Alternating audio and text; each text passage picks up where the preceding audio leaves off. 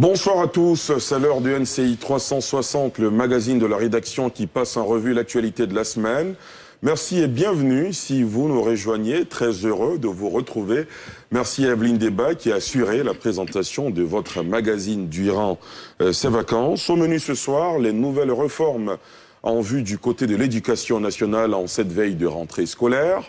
Dans l'actualité politique, nous évoquerons les prémices du nouveau parti de gauche porté par l'ex-président ivoirien Laurent Gbagbo. Semaine également marquée par cette triste nouvelle, le décès de l'ex-premier ministre ivoirien Charles Konambani. Enfin, nous parlerons du putsch en Guinée une semaine après les événements. Voilà pour le sommaire de ce NCI 360. Pour en parler, je reçois pour vous, chez vous, André Silver Conan, journaliste fondateur d'Ivoire Hebdo. Bonsoir André Silver. Merci d'avoir accepté notre invitation. Alafé Wakili, journaliste directeur général de l'Intelligent d'Abidjan. Bonsoir et bienvenue. bonsoir. Guillaume Bateau, journaliste secrétaire général du SYNAPSI. Bonsoir et merci d'être là. Bonsoir Ali.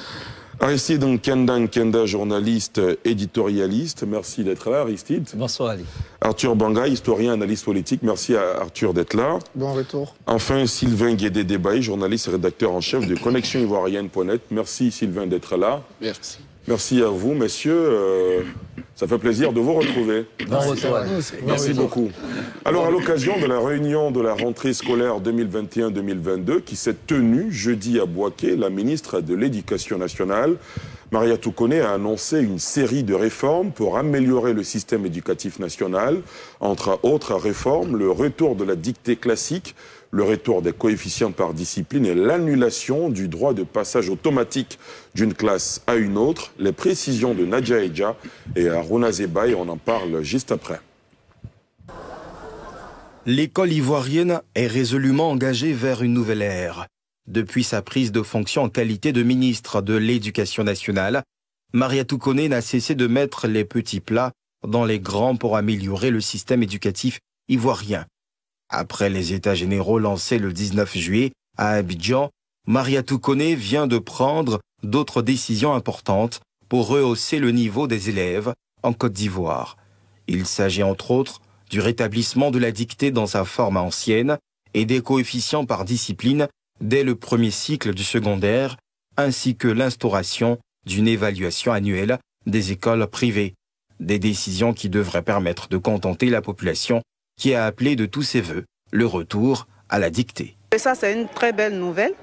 Parce que nous-mêmes, on avait fait la dictée. Aujourd'hui, là, quand tu, tu, interpelles un enfant sur même la dictée, une phrase déjà, sur une phrase déjà, tu peux retrouver 10 fautes. Donc si la dictée revient, tout remet, se remet en place et l'enfant va savoir s'exprimer, savoir même écrire les mots, tout et tout. En notre temps, il y avait des dictées préparées qu'on faisait et aussi des dictées qu'on faisait au BPC. Voilà, et, cette initiative-là nous permettait de nous, de, nous, améliorer dans le vocabulaire, dans, dans, la grammaire aussi. Voilà. Mais s'ils ont pensé bien de ramener encore cette, euh, cette pratique-là, c'est pour amener les, élèves et les étudiants de maintenant à pouvoir, euh, pouvoir s'améliorer. Parce que la venue de la technologie aujourd'hui a, joué a un impact au niveau de, l'éducation en Côte d'Ivoire ici. À partir de la quatrième, on avait les coefficients de mathématiques en physique sont revenus, c'est bon. Nous, ça nous a aidé. Parce que l'élève qui est en, qui en sixième, la sixième en, en troisième, qui fait le coefficient 1, et arrivé, arrivé en seconde, il passe en mathématiques en coefficient 5, il est carrément perdu. Les réformes qui sont prises sont très intéressantes, dans la mesure où ça demande maintenant, ça fait place à l'excellence. Celui qui doit aller de l'avant, c'est celui qui doit mériter, pas, pas celui qui ne mérite pas. Surtout qu'on nous disait que du primaire, pour passer à une autre classe, on n'avait même pas besoin d'avoir la moyenne. Donc ça veut dire qu'on réalité, on n'avait plus besoin d'aller à l'école pour aller en classe supérieure. De façon spécifique, ces réformes contribueront à corriger les insuffisances révélées par le PASEC 2019, programme d'analyse des systèmes éducatifs de la Confémène. Selon cette étude, 66,9% d'élèves ne disposent pas de compétences favorables à la poursuite de leur apprentissage, avec des lacunes en lecture et calcul pour ceux du primaire. Alors, euh, ces réformes ont été diversement appréciées dans l'opinion. On a vu euh, certains qui ont salué ces, réformes annoncées par la ministre de l'Éducation nationale. Il y en a d'autres qui sont contre, qui ne sont pas d'accord, qui ne sont pas en phase avec Maria Toukone. C'est le cas d'Arthur Banga, notamment, qui a fait une sortie sur sa page Facebook. Pourquoi vous n'êtes pas d'accord avec ces réformes essentiellement? Qu'est-ce qui vous gêne? Qu'est-ce qui vous dérange dans ces réformes?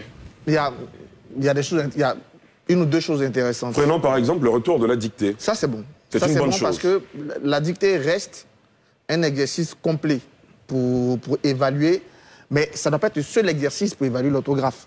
Voilà, mais c'est un exercice intéressant. Et le retour de la dictée, oui, ça peut contribuer. Encore que, encore que, je vais peut-être vous choquer, mais les gens disent qu'il faut qu'on fasse l'école comme avant. Moi, quand j'ai un élève, quand il écrit, par exemple, les enfants mangent sans S, je prends à côté mon ordinateur, j'écris les enfants mangent. Si l'ordinateur souligne le S, je ne sanctionne pas tout de suite l'élève. J'attends la correction. Je lui demande, mais pourquoi tu n'as pas mis S? S'il comprend sa faute, je ne le sanctionne même plus. S'il ne comprend pas, je le sanctionne. Pourquoi? Parce que l'enfant d'aujourd'hui, dans 5 ans, dans 10 ans, il aura l'ordinateur dans son quotidien. Donc, quelque chose que l'ordinateur corrige aujourd'hui, on ne peut pas regarder comme autant on n'avait pas l'ordinateur. Il doit comprendre le mécanisme. Ça, c'est très important. Donc, ce que moi, je vérifie, c'est comprendre le mécanisme. Ça, c'est pour la dictée. Ça peut revenir, mais... Mais certains vais vous dire, mais je- vous avez été formé au temps où il n'y avait pas Ouais, parce que- d'ordinateur, mais vous avez eu une bonne mais formation. Avant, il n'y avait pas de, de boîte automatique. Donc, au, au- au- au permis de conduire, on insistait sur euh, euh, manipuler, mais dans quelques années. Mais si on la formule a fonctionné euh, il y a quelques elle années, elle peut fonctionner On a un pays pauvre. hein, on a encore un pays pauvre. Donc, elle n'a pas Ouais, on on dit pas le ça. contraire, on a un système scolaire, Ali. Prenez votre photo de CP1. Plus de la moitié de vos amis de CP1 ne sont pas arrivés en terminale. On a un système qui détruit nos enfants, qui ne les accompagne pas. Plus, la moitié, plus de la moitié des élèves engagés en CP n'arrivent pas en terminale. Parce qu'ils ne sont pas accompagnés. Je viens, parce qu'on a, on a nos classes.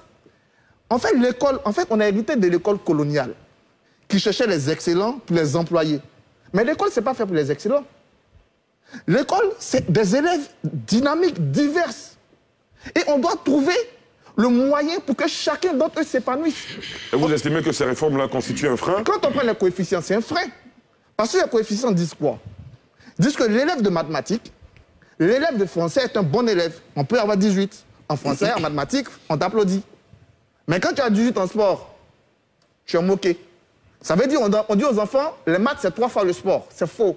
Notre société, elle aussi besoin de mathématiciens, de sportifs. Donc, il faut encourager tous les enfants à s'épanouir. D'accord, je reviendrai à vous tout à l'heure. Euh, André Silver Conan, vous aussi, vous alliez un peu dans le sens d'Arthur Banga Oui, euh, moi je, n'étais- je ne suis pas d'accord euh, avec euh, le retour des coefficients euh, au premier cycle pour la simple raison que je reviens toujours à ce que j'ai dit, pourquoi va-t-on à l'école?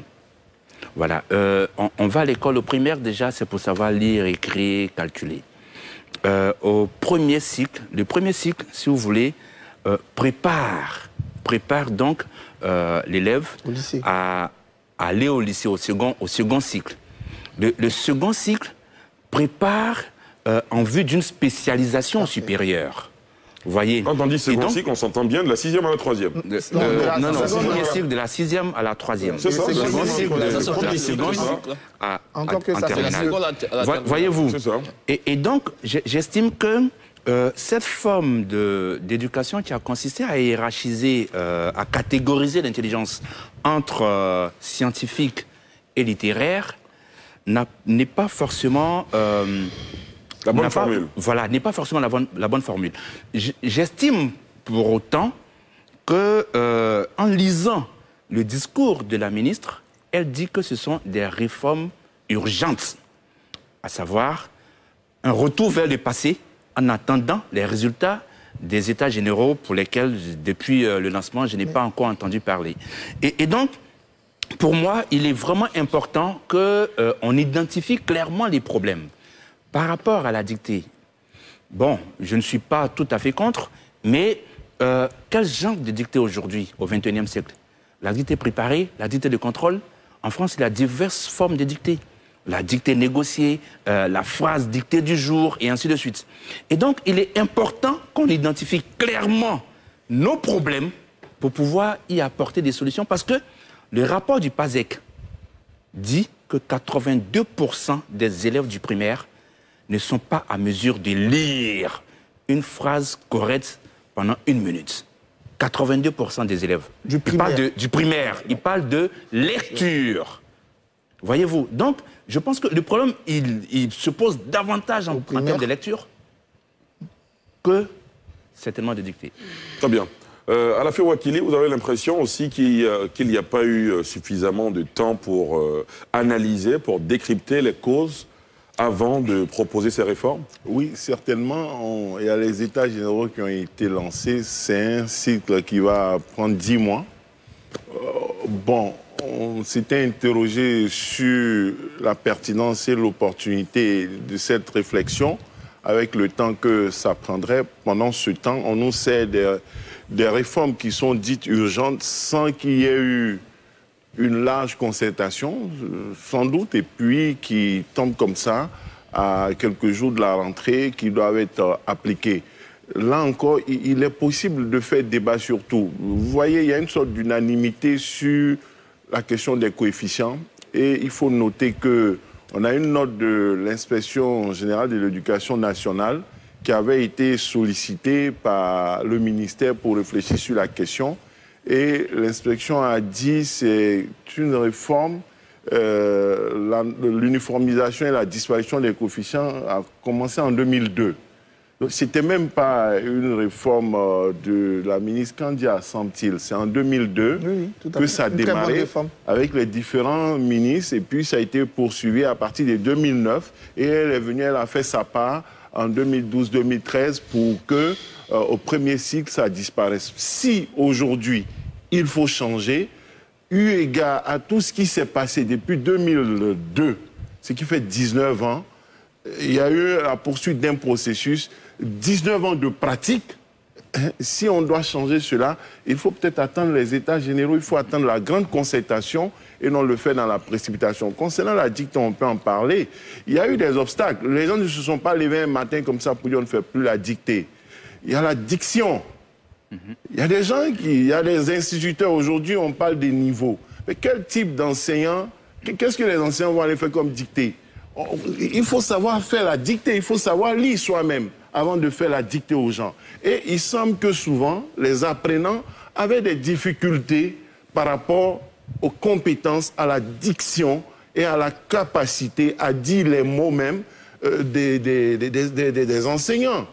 Parce que, voyez-vous, on n'est pas, même au, cinéma, au théâtre, il y a l'art oratoire.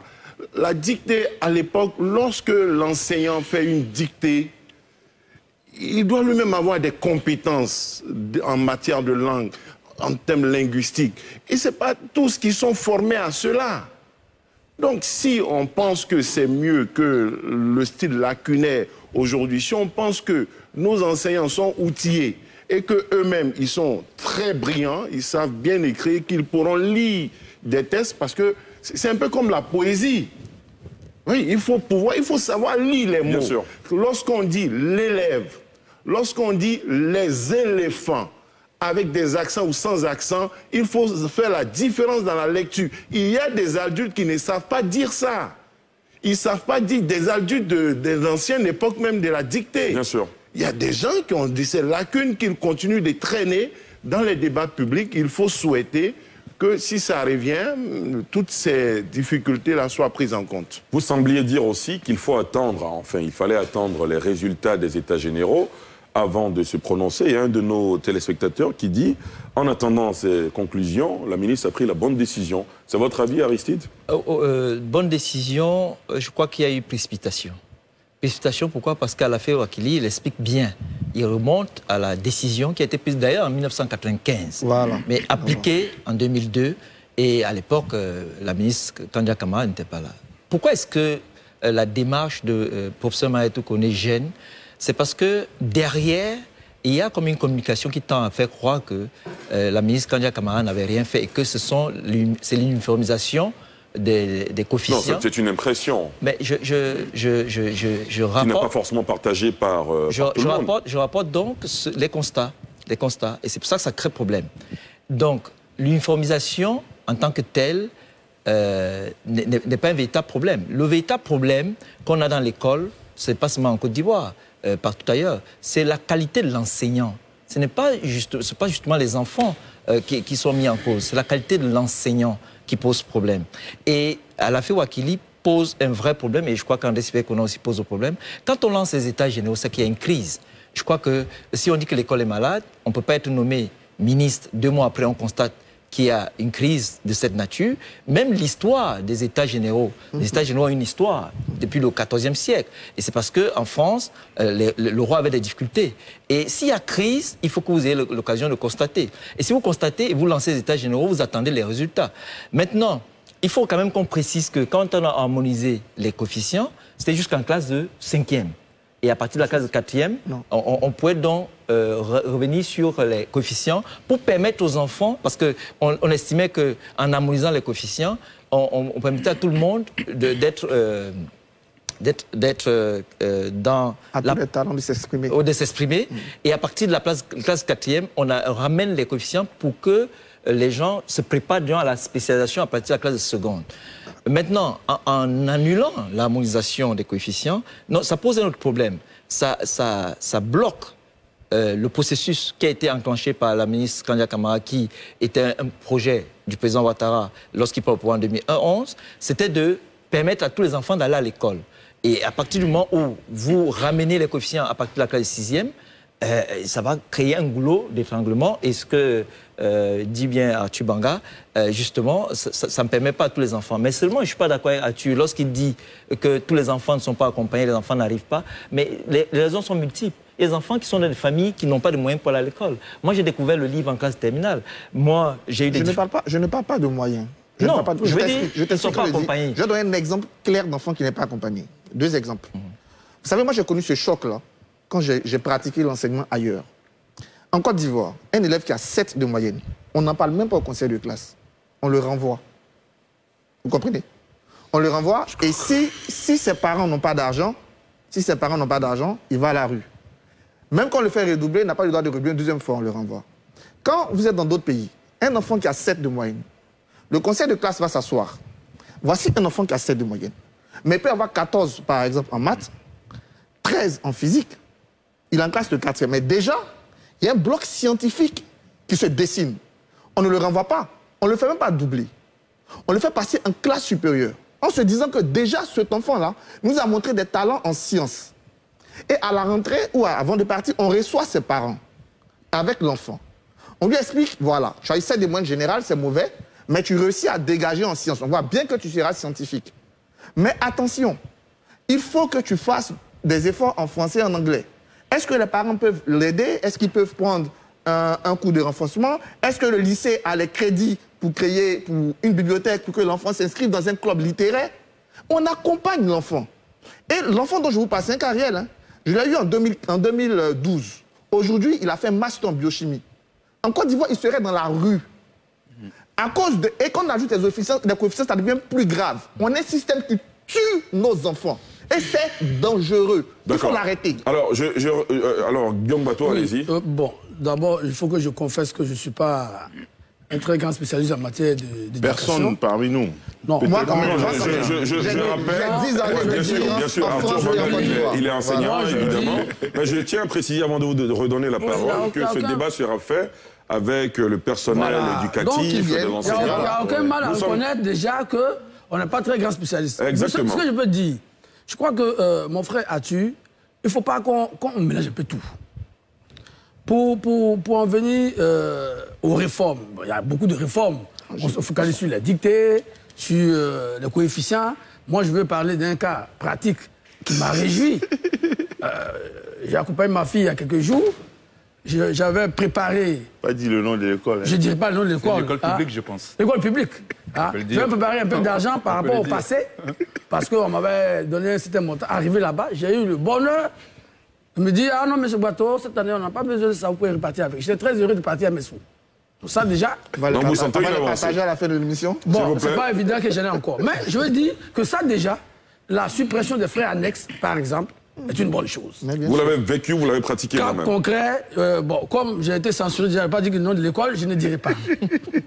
Donc ça, c'est déjà une bonne chose. Ensuite, je, pense que le, problème de l'école ivoirienne, il, est, il, est, il, a beaucoup d'origines. La surpopulation des classes, le manque de tables bancs, il y a beaucoup de problèmes. Pour en revenir aux questions spécifiquement liées aux coefficients, moi, je trouve que c'est une bonne chose. Parce qu'aujourd'hui, est-ce qu'on est, d'accord que le niveau de nos enfants a baissé par rapport aux générations euh, antérieures? Je dis oui.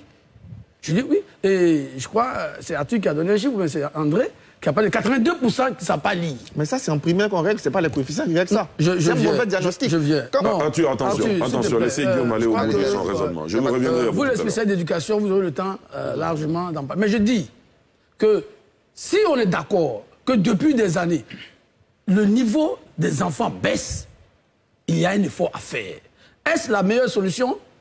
Il faut attendre pour voir les résultats. Parce que souvent, euh, Aristide a dit, oui, c'est une réforme qui a été proposée en 1995, mais dans quelles conditions? Parce que souvent, on voit que des réformes qui sont imposées par les bailleurs de fonds. Non. Ah oui, je, dis, je le dis. Oui, ça, peut arriver, ça, ça arrive. Pas, pas il y a des réformes souvent, il y a des réformes qui sont imposées par les bailleurs de fonds sur la base d'un certain nombre de, de, de, crédits qui sont alloués, etc., etc. Nous, qui sommes allés à l'école, et ceux qui sont allés à l'école avant nous, on a fait la dictée, on a fait les coefficients, et bon, as-tu dit, oui, euh, oh, oh, oh, ça détruit les enfants. Mais la question qui est en cause, ce n'est pas forcément les coefficients. Est-ce qu'on prévoit des passerelles, par exemple?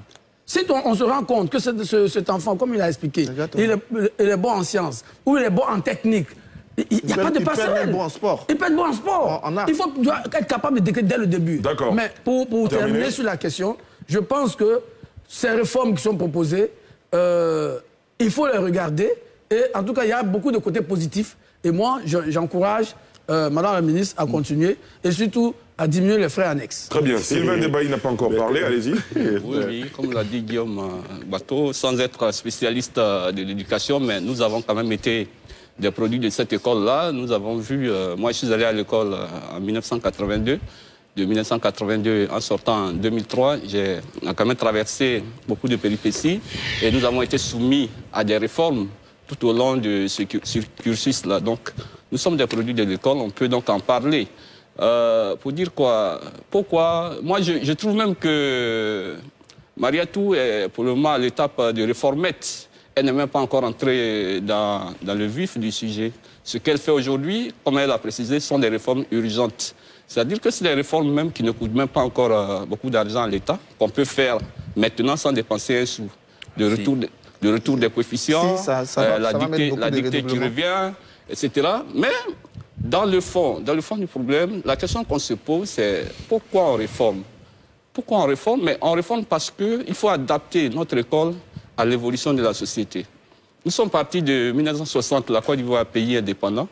En ce moment-là, euh, de 1960 jusqu'au lendemain des années 80, il fallait, euh, la politique du fouet, c'était de décoloniser euh, l'école. Parce que, bon, c'était l'école telle qu'elle avait été implémentée par les colons, etc. Donc, il fallait maintenant une école ivoirienne. On a parlé à un moment donné d'ivoirisation des cadres, donc il fallait des produits ivoiriens. On est parti avec la réforme, la réforme mais qui, quelque part, a eu des problèmes parce qu'elle était influencée par les bailleurs de fonds qui ont dit désormais, ben, écoutez, si vous voulez que nous vous aidons, voilà ce qu'il faut faire, voici ce qu'il faut faire. En, en, particulier, l'introduction du privé, la, concession euh, de l'école euh, au privé. C'est comme ça qu'on a commencé à voir les écoles privées qui aujourd'hui sont quand même euh, une gangrène aussi dans le système éducatif. Donc je pense que Maria, tout commence bien. Pour vous, c'est un bon début Oui, c'est un bon début. C'est vrai que les États généraux arrivent pour pouvoir vraiment recadrer maintenant tout ça, mais c'est un bon début. Très bien. Voilà. Alors, une question pour Arthur et pour tout le monde. Euh, Monsieur Constant Quadio nous écrit de Yamoussoukro. Il dit Je suis professeur dans un lycée de Yamoussoukro. Pour le débat de ce soir, j'ai une question pour Monsieur Arthur Banga. Il est contre le retour aux anciens coefficients. Mhm. Je veux qu'il m'explique le fait qu'on n'ait pas les mêmes volumes horaires. Au premier cycle, on fait une heure en musique, une heure en art plastique et quatre heures en mathématiques. Pourquoi ne demande-t-il pas une uniformisation des volumes horaires C'est une très belle question. Et venant d'un prof, il y a ce qu'on appelle l'apprentissage. Donc, et il y a ce qu'on appelle euh, l'évaluation, il y a ce qu'on appelle la préorientation et l'orientation. Dans l'apprentissage, on peut effectivement dire que euh, comme les compétences qu'on recherche sont plus à retrouver dans une matière, cette matière a plus de temps. Et d'ailleurs, c'est au détriment des autres matières.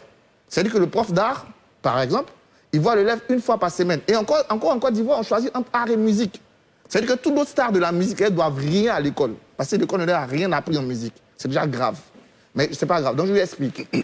Et comme on veut que ces compétences qu'on recherche soient dans certaines matières, on les met là-bas. Donc ça, ça explique le volume horaire. Et quand on veut modifier les programmes. Parce que dans la réforme, on ne touche pas les programmes. Aujourd'hui, l'anglais se fait encore au CM2. Mais dans les écoles où les grands types envoient leurs enfants là, l'anglais se fait depuis le, le CE1. hein. Voilà. L'informatique. Aujourd'hui, on parle encore allemand. Alors que la Chine, euh, euh, le, monde arabe devient important. On n'a pas encore de profs d'arabe ni de chinois. Dans... Ça, c'est des questions. Mais vous comprenez Les coefficients tuent l'évaluation. Parce que ça ne permet pas de bien voir les talents de chacun. Or, le rôle du collège, c'est de favoriser la préorientation et l'orientation. C'est-à-dire qu'au collège, on doit savoir, euh, l'enfant de, de Guillaume Bateau, qu'est-ce qu'il a de bien en lui, en quoi il performe pour que la société l'utilise. Est-ce qu'il performe en art? Donc la société va l'utiliser en art. Est-ce qu'il performe en maths? Mais quand vous dites à cet enfant-là que ne prépare pas les devoirs d'art, parce que ce devoir compte un point, prépare les devoirs de maths, on ne peut pas savoir. Voilà pourquoi je suis contre les coefficients. Parce que les coefficients, d'abord, ça, ça donne une mauvaise idée de notre société. Ça donne une société qui privilégie d'autres matières à une autre. Et donc, inconsciemment, on envoie des élèves sur une autre chose. Deuxième chose, ça brouille l'orientation et la préorientation. Troisième chose, je vais terminer rapidement, Adi. Hum, Terminé, oui. La solution des coefficients, c'est la solution de la facilité. Parce qu'on nous dit quoi? On nous dit, on s'appuie sur un rapport qui dit que les enfants ne savent pas lire. Mais c'est au primaire qu'on lit. Ce n'est pas au collège. Donc, pour régler le problème du primaire, là, vous n'avez pas fallu fatiguer les collégiens. Les coefficients au Hein primaire. Y a pas de...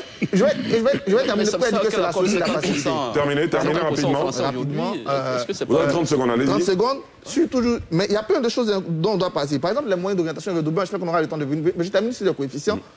On laisse une mauvaise image de notre société à ceux qui font des efforts en sport. On leur dit, vous qui faites des efforts en sport, c'est trois fois rien devant des efforts en maths. Vous qui faites des efforts en art, c'est trois fois rien devant des efforts en français. Et ça, c'est pas normal. C'est pas normal. Et dans aucun pays développé au monde, il y a des coefficients. Aucun. C'est entendu. Aucun. On vous a bien compris. André Silver Oui, moi, j'aimerais insister sur le fait que depuis de longues années, on fait des réformes, en fait. Euh, il y a donc euh, ce qu'on appelle euh, la pédagogie par, par objectif, PPO. On a connu donc euh, la formation par compétence, FPC, l'approche par compétence, APC. On a même euh, connu le programme d'enseignement ciblé. Euh, Voyez-vous, qu'est-ce que cela a produit? C'est cela.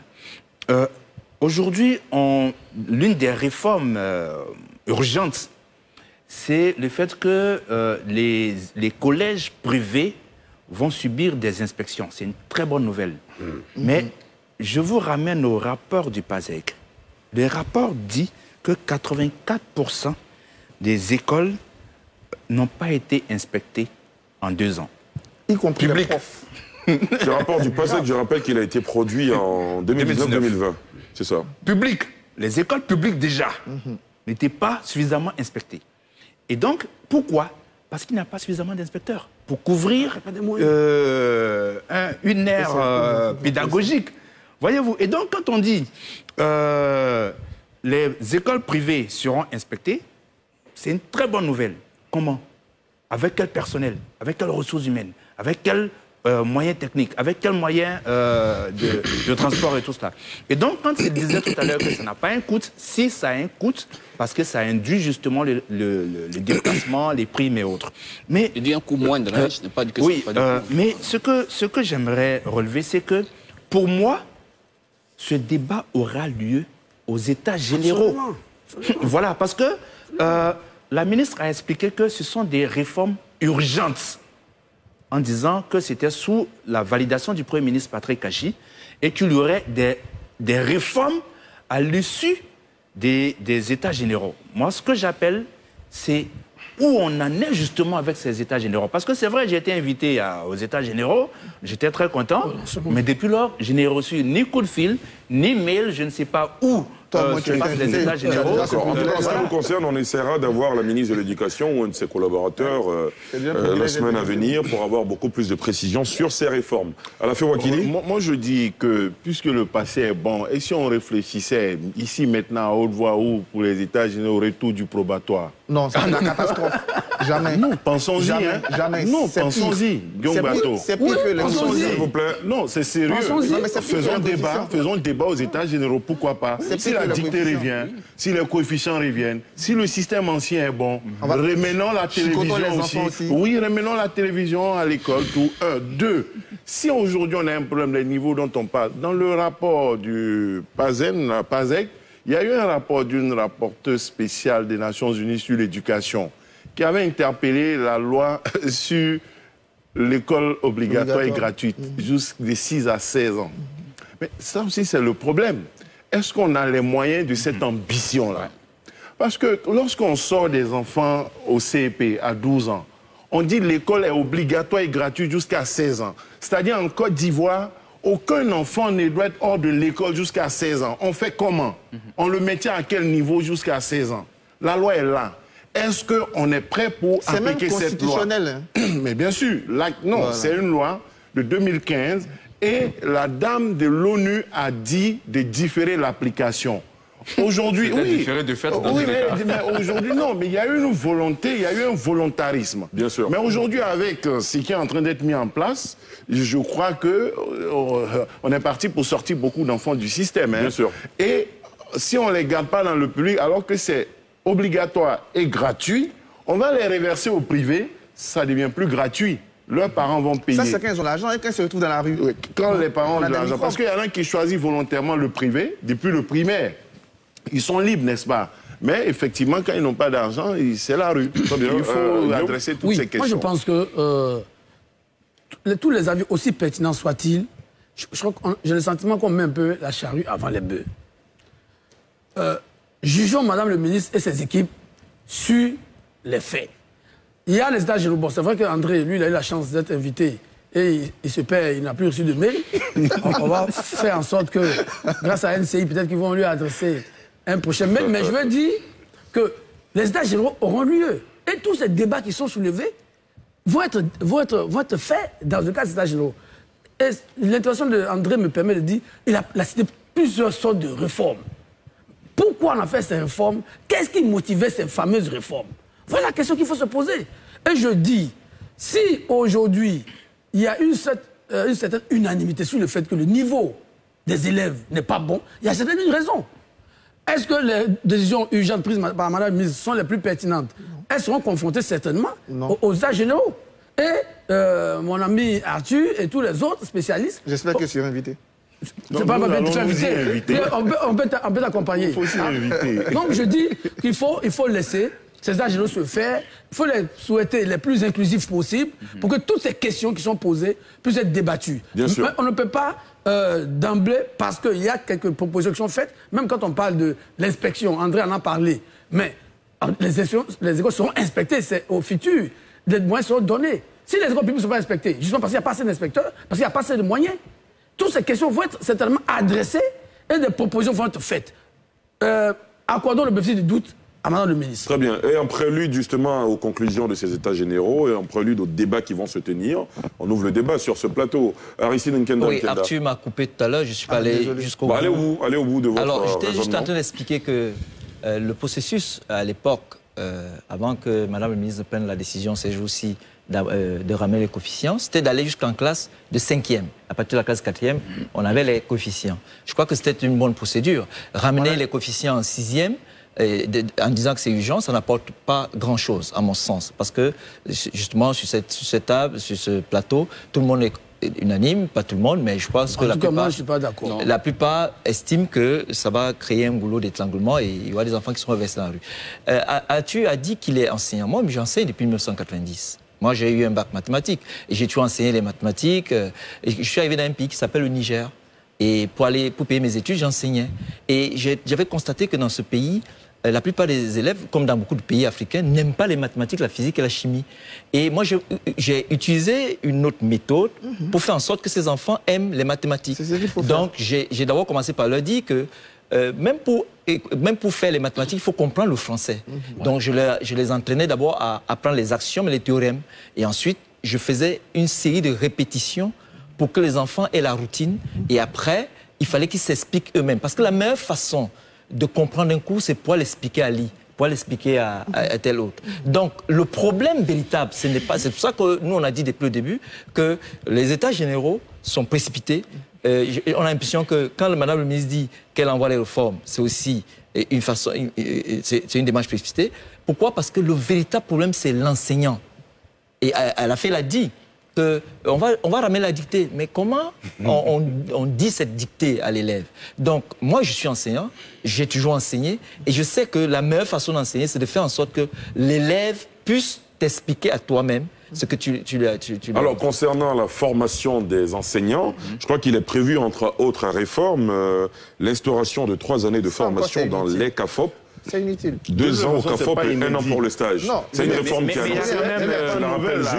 Alors, monsieur, nous avons épuisé le temps imparti pour cette première partie de ce débat. Je tiens à rappeler qu'on va ouvrir le débat avec les acteurs de l'école, du ministère de l'Éducation nationale. Comme indiqué, on essaiera d'avoir la ministre elle-même pour l'émission de dimanche prochain, euh, pour une interview exclusive sur l'école ivoirienne en cette période de rentrée scolaire. Arthur Manga, je suis... Vous avez 30 secondes. 30 secondes, rapidement. Le problème, c'est pas la formation. Le problème, c'est la formation continue. Deux ans, ça suffit pour former un instituteur. Mais comme il a dit, au, contact des gens, il faut que les inspecteurs reviennent pour lui apprendre de nouvelles pédagogies, de nouvelles innovations. Donc l'argent de la troisième année, là, on n'a qu'à garder ça, mettre ça dans la formation continue et dans l'inspection. Parce que si vous gardez quelqu'un trois ans à l'école et quand ils sont, le forme plus, promotion de trois ans, c'est grave. le plus important, c'est de la formation continue qui manque atrocement. Nos, nos profs ne font pas de stage. Il n'y a pas que dans les il pas de formation continue. c'est grave. Il faut insister sur la formation continue. Moi, bien, mais dans ce pays-là, on a dit, on a dit que l'école a baissé de niveau. Mais je suis d'accord. Mais les jeunes aussi ont D'accord. On met trois ans. Monsieur, le débat va se refaire. On vous en fait la promesse. Vous aurez l'occasion d'avoir d'autres tribunes pour vous prononcer là-dessus de fond en comble. Dans l'actualité politique, cette semaine, la mise au point de Simone Gbagbo. L'ancienne première dame ivoirienne est montée au créneau dans un communiqué diffusé sur ses réseaux sociaux. Elle exige un minimum de respect après avoir, estimé être reléguée à un rôle secondaire dans le nouveau parti de l'ex-président Laurent Gbagbo. Les précisions de Pierre Dipomelin, on en parle juste après. Le nouveau parti annoncé par l'ex-président Laurent Gbagbo prend forme. Les membres des commissions et du groupe de réflexion du futur parti sont désormais connus. Dans un communiqué signé du ministre Adou, sont nommés au sein du comité de coordination cinq personnalités dont Aka Emmanuel, Hubert Olaï et Danon Djedje Sébastien, par ailleurs désigné président du congrès consultatif. L'ex-première dame Simone Yves Gbagbo fait partie d'un groupe de réflexion au sein d'une commission en charge de l'élaboration des statuts et du règlement intérieur. Cette commission doit aussi proposer la dénomination et le sigle du parti. L'anciennement vice-présidente du FPI, qui dit avoir appris sa nomination à travers les réseaux sociaux, a aussitôt réagi et dénonce un manque de respect pour sa personne. Je suis surprise que mon nom circule comme membre d'un groupe de réflexion élargi sans que je n'ai même été préalablement consulté. Je reste dubitative devant ces pratiques et manquements et je suis peu encline à m'associer à ce type d'initiative car je mérite un minimum de respect et de considération. Cette réaction musclée de Simone Yves Gbagbo, habituellement discrète, révèle les dissensions qui peuvent exister dans ce parti politique en gestation. Va-t-elle rejoindre ses camarades de lutte? Quel rôle va-t-elle jouer dans le nouveau parti de l'ex-chef d'État? Les jours à venir, nous le dirons. Voilà, monsieur, euh, cette sortie de Simone Gbagbo, on ne l'avait pas entendu euh, se prononcer depuis le retour de l'ex-président ivoirien Laurent Gbagbo. André Silver Connor, réaction C'est Bon, euh, auparavant, j'aimerais signaler que moi, je milite pour les bacs agricoles. voilà. D'accord. Et donc, on, on aura l'occasion d'en parler ultérieurement. la sortie de Simone Gbagbo n'est pas du tout une surprise, en tout cas pas pour moi. Depuis le 17 juin, date du retour du président Laurent Gbagbo en Côte d'Ivoire, avec l'incident de l'aéroport, il n'y a que, euh, on va dire, les supporters des deux personnalités qui rêvaient à, ce que euh, rien ne se passe. Mais en fait, on ne faisait que différer cette crise.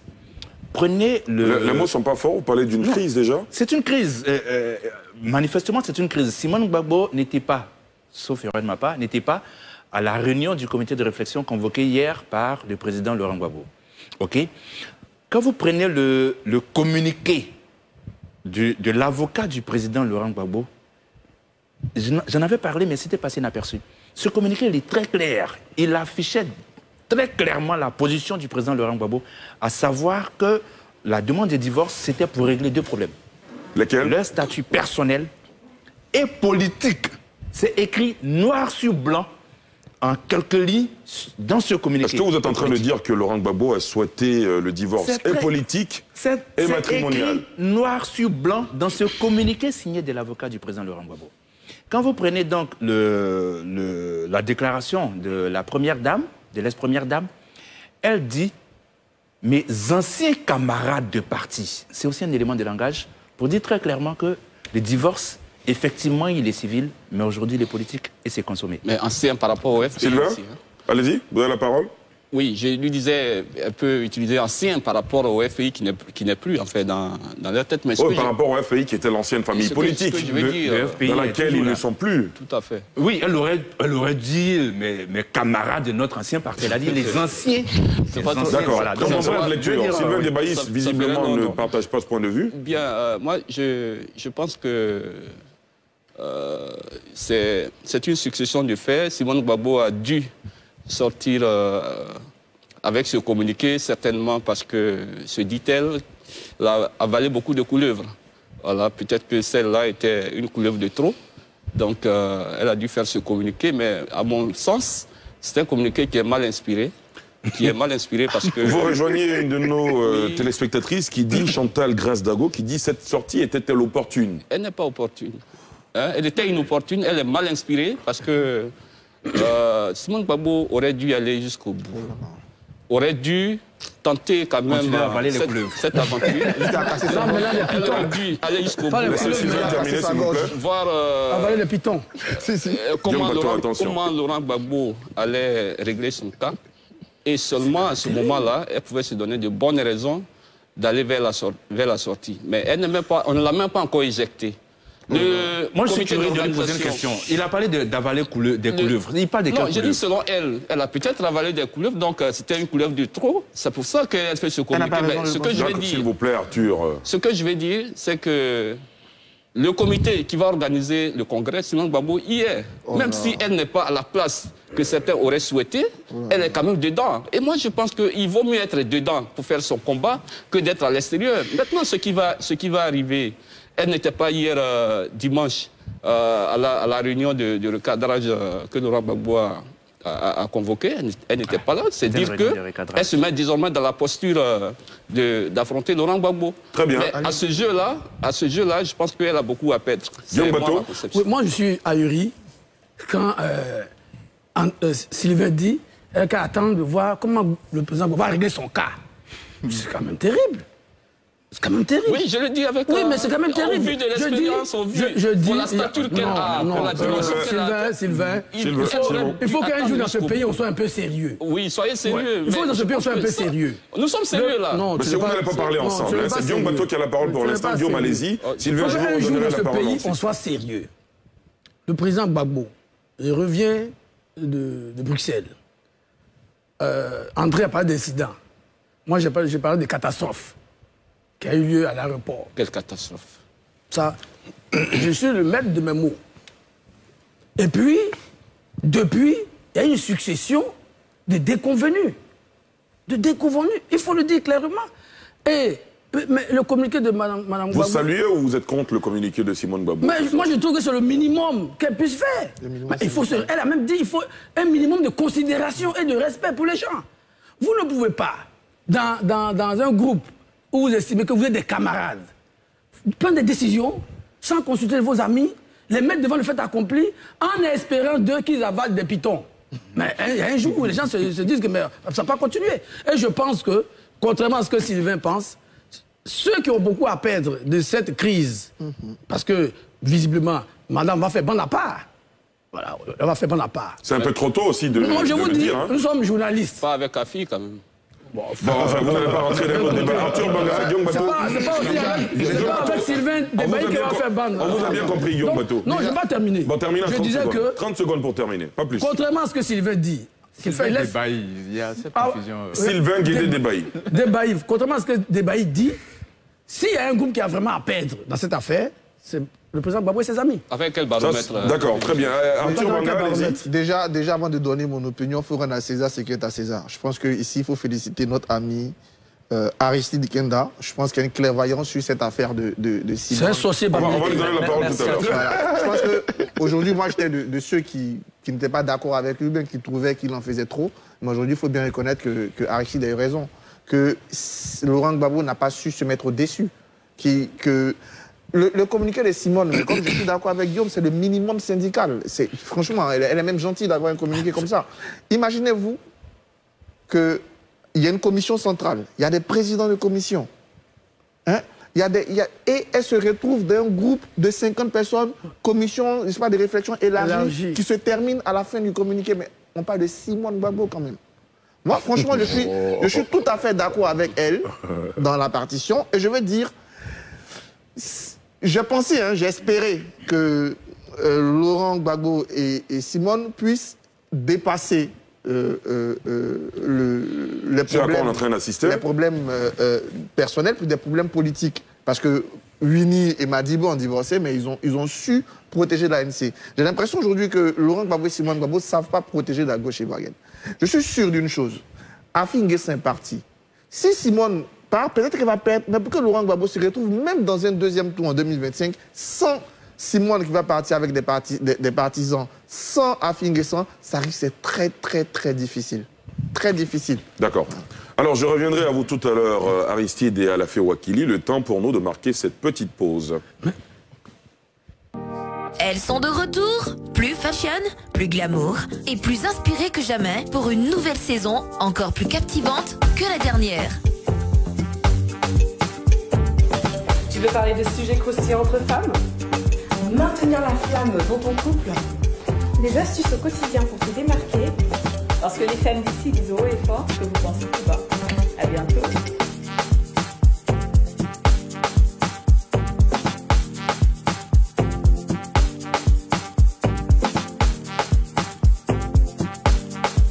Les femmes d'ici, elles disent tout haut ce que vous pensez tout bas. Sur NCI, la nouvelle chaîne ivoirienne.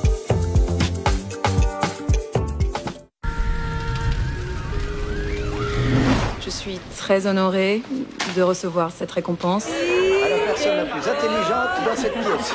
Docteur Zara, une femme vient d'arriver dans la salle d'urgence. Vraiment? Depuis combien de temps elle y est? Cinq minutes. Ne traîne pas les pas. Mmh. Pas parce que Alima a... Euh, Alima a, a 13 ans. Tu ne veux plus me donner ta fille en mariage? Alima, que fais-tu celui-ci? Maman, je ne veux pas me marier maintenant. Eh bien, j'étais déstabilisée et je suis partie. Arrête, s'il te plaît Tonton, s'il te plaît Ah Arrête Dry, ce lundi à 20h30 sur NCI, la nouvelle chaîne ivoirienne. Des ambitions, des problèmes. Retour sur le plateau. Kenda Nkenda, c'était à vous la parole pour vous prononcer sur cette sortie de Simone Babo cette semaine. Alors, merci Arthur pour euh, la remarque. Mais je voulais simplement dire que André Sivekonon parlait du 17, à partir duquel on a vu, mais tu l'as dit, je l'avais déjà dit avant. Mais aujourd'hui, je ne veux plus m'attarder là-dessus. Ce que je veux faire, c'est une lecture du futur parti de gauche que Laurent Gbagbo... C'est même pas un futur parti de gauche.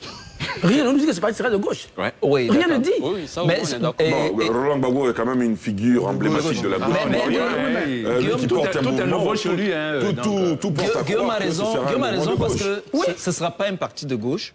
Un parti surtout- souverainiste ultranationaliste Ce sera, vous plaît. ce sera surtout un parti d'extrême gauche peut-être. Pourquoi? Parce que...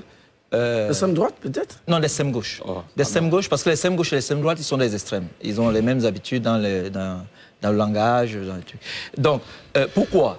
Aujourd'hui, Laurent Gbagbo euh, dessine sa propre vie politique.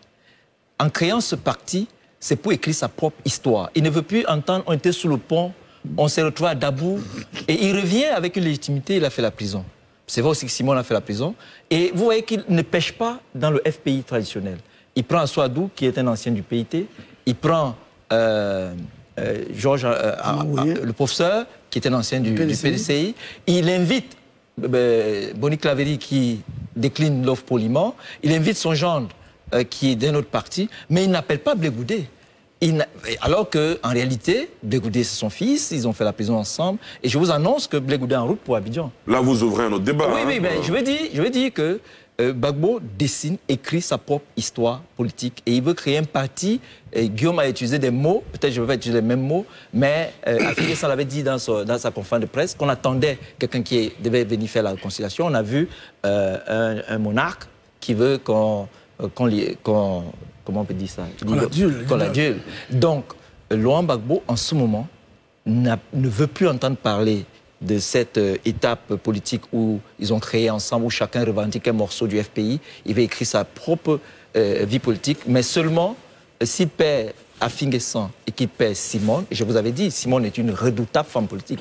Et quand on regarde aujourd'hui euh, la scène politique, on comprend bien que c'était Simone et Afi qui faisaient Laurent Gbagbo. À la Euh, Moi, je dis, il ne faut pas oublier l'histoire de Laurent Gbagbo et Simone Gbagbo. Ils se sont connus dans la politique, grâce à la politique. Et on peut aussi s'interroger sur Simone Gbagbo, euh, parce qu'elle ne serait plus avec Laurent Gbagbo époux, elle serait en rupture idéologique et politique. Non. C'est la question qu'il faut se poser. Elle était avec Laurent Gbagbo, pourquoi Ils avaient une vision... André Silver Conan semblait dire que la rupture est Pas du politique tout, justement. c'est le contraire. Parce que quand Laurent Gbagbo dit de clarifier, pour lui, c'est simple. Il ne veut pas l'épouse, mais il veut l'allié politique. Parce que On ici, pas ça. mais si, ce On que tu disais, oui, mais si, c'est ce qu'il veut. Comment En la mettant dans une, dans une c'est- liste. oui, mais euh, si elle n'est plus son épouse, quelle prérogative elle a? Elle était ex-première dame. En dehors d'avoir été ex-Madame Babo, ex-première dame. C'est quoi aujourd'hui Simone Aujourd'hui, Babo? Elle pèse quoi? Quand, quand on fait en partie dehors de ce symbole, non, est- terminer, Arthur, non, en dehors- en dehors- en dehors du rôle éminent qui fut le sien, en dehors du fait qu'elle fut l'épouse d'un ancien président au cœur du pouvoir et ayant eu une partie du pouvoir, en dehors du fait qu'elle fut présidente du groupe parlementaire et députée d'Abobo, qu'est-ce qu'aujourd'hui Simone Babo? Je réponds Non, je suis d'accord. Maintenant, on crée un on- nouveau parti qui n'est pas de son initiative. Aujourd'hui, Laurent Gbagbo veut, eh, d'abord, pour sa vie matrimoniale, une épouse, en guillemets, normale. Une épouse comme Mme Bédier avec pour Bédier, comme Mme Ouattara l'est avec Ouattara, comme l'épouse Afinguessan est avec son époux, comme Mabri son époux est. Mais Simone n'est pas une épouse, en guillemets, normale, elle est politique. C'est misogyne, ça. Bah, Pas misogyne, hein. Simone est une. Non, ah, ah, ne me j'ai beaucoup de hein. respect pour les épouses, les dames dont j'ai parlé. Il ne faut pas employer cette expression-là. J'ai beaucoup de respect pour, elle. On a Donc, bien compris le- Simone est une femme politique qui n'a pas les mêmes. et les autres dames dont j'ai parlé n'ont pas le même engagement politique que Simone. Elles sont dans le combat de leur époux à leur façon. Ce sont des grandes dames à côté de grands hommes. Mais Simone n'est pas une grande dame se voulant aux côtés d'un grand homme. Elle veut être même une grande dame. Donc il faut qu'elle s'assume si elle veut être une grande dame politique hors d'un grand homme politique. Les autres dames, là, elles sont des grandes dames à côté d'un grand homme ou de grands hommes. Autrement dit, vous êtes d'accord avec le communiqué Simone, je suis même pas d'accord. faut qu'elle s'assume. Si elle veut S'assumer parce Wakili que enfin elle est l'objet de divorce, c'est trop tard. Mais elle aurait? pu s'assumer dans le mariage et avoir elle-même une émancipation d'une mais- ambition. mais le mariage, le- la demande de divorce a été Ali, formulée Ali. par Laurent Gbagbo. Je pas reviens par à vous Ali. tout à l'heure. Oui, ça veut dire qu'elle n'était- elle ne le voulait pas, elle ne le veut toujours pas. Donc, la question est de savoir qu'est-ce qu'elle veut exactement. D'accord. C'est-à-dire, si Laurent Gbagbo renonce aujourd'hui au divorce, est-ce que Simone Gbagbo va aller créer son parti? Est-ce qu'elle aura un divorce politique? C'est la question qu'en fait que je veux poser. D'accord, très bien. Elle est avec Laurent Gbagbo, pourquoi D'accord. Une question d'Alafé Wakili que je Voilà. réoriente vers Arthur Banga. D'accord. Moi, je pense que Laurent Gbagbo a dit qu'il veut rassembler la gauche ivoirienne dans un parti, un parti de gauche. Tout ce que, justement, à la fin, tu as dit, c'est justement sur ça qu'on se base pour faire de Simone une figure de la gauche. On ne peut pas rassembler un parti de gauche ivoirienne avec celle qui était la présidente du groupe parlementaire de gauche, celle qui était l'une des premières députées de gauche, celle qui a eu, tu dit toi-même, un poids dans cette gauche ivoirienne-là. On ne peut pas créer un parti de la gauche ivoirienne et la mettre dans un couplet de réflexion qui se traîne. Qu'est-ce que les, les, les euh, les Georges Wenin, comme il a dit, ont fait dans la gauche que Simone n'a pas fait? Moi, je pense que toute cette lutte a donné à Simone une légitimité dans la gauche ivoirienne. On ne peut pas s'asseoir, on ne peut pas écrire un livre sur la gauche ivoirienne et ignorer Simone. Elle aura sa place dans les pages, elle aura plus de noms en index que tout ce que tu viens de citer. Donc, en ce moment-là, quand je vais écrire, je vais créer un parti de gauche, je m'appuie sur les personnalités les plus importantes de gauche. Et parmi elles, il y a Simone Babo. Je ne lui demande pas de faire la cuisine dans les réunions. Je la mets dans, une- dans un truc principal. Voilà. Et, et c'est qui est pour moi différent du mariage civil. Ils peuvent, ils peuvent- je vais terminer. Ils peuvent- terminez. Ils peuvent divorcer sur le plan civil et avoir tous les deux l'intelligence. Et c'est ce que moi j'espérais de garder une place politique. On vous a bien compris. Euh, André? Oui, euh, tout à l'heure, euh, Sylvain Débailly parlait de ce que euh, Simone Gbagbo a plus à perdre euh, que Laurent Gbagbo. Je, je ne pense pas. Pourquoi? Euh, il, il y a des indicateurs qui, qui prouvent quand même que euh, le président Laurent Gbagbo, qui était en dehors de la Côte d'Ivoire, n'a plus cette popularité qu'il avait aujourd'hui de Laurent Gbagbo en Côte d'Ivoire. Je me base sur le fait qu'il y a trois mois, Simone Gbagbo n'aurait pas fait un communiqué pareil. Je me base sur le fait qu'il y a aujourd'hui des pro-Simone qui critiquent, mais alors violemment, ouvertement, Laurent Gbagbo. Il y a trois mois, c'était impensable. Parmi euh, les, les- les gens qui prennent davantage leur distance vis-à-vis de Laurent Gbagbo aujourd'hui, ce ne sont même pas les, militants du RHDP et autres, ce sont des gores, des Gbagbo ou rien qu'il y a trois mois encore le défendait bec et ongle. Donc, quand on dit euh, euh, Simon n'a plus à perdre, j'ai dit attention.